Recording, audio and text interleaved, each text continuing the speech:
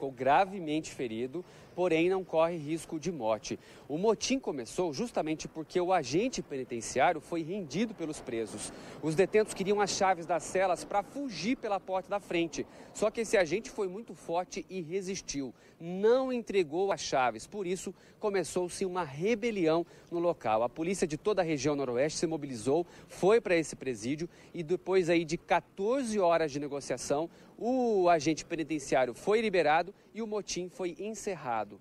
A delegacia de Iporã ficou completamente destruída. Os presos arrancaram as portas das celas e agora os 50 detentos estão em uma cela improvisada até que comecem aí as transferências para a penitenciária estadual de Cruzeiro do Oeste. Essa delegacia, Rivaroli, não é diferente das demais do estado, que a gente mostra todos os dias aqui no Parananuá. São cerca de 50 detentos em um espaço para apenas 19.